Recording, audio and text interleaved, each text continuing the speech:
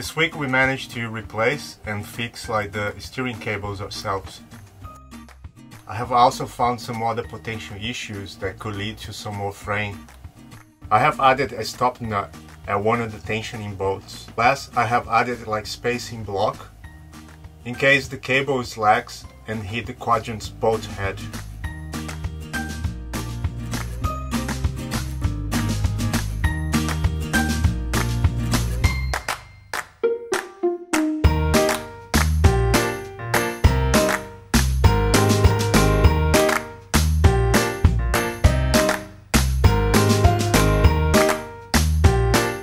We're in Lanzarote now and we've really been struck by the deliberate connection here between art and nature.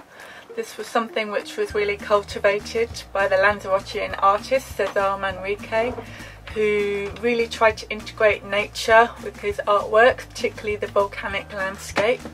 And he also had a big impact on the rest of the island, so really campaigned for sustainable development here.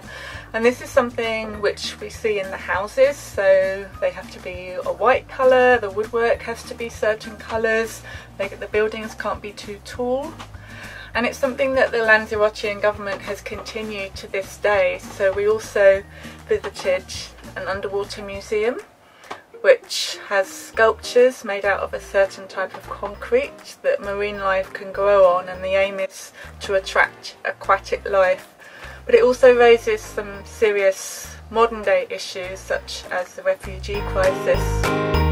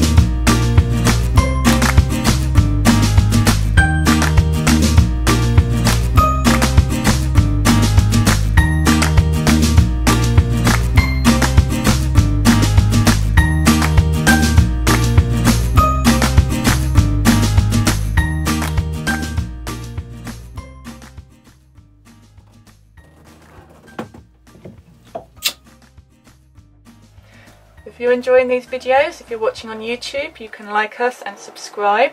They come with a weekly blog post on our website, www.theblacksprayhood.com.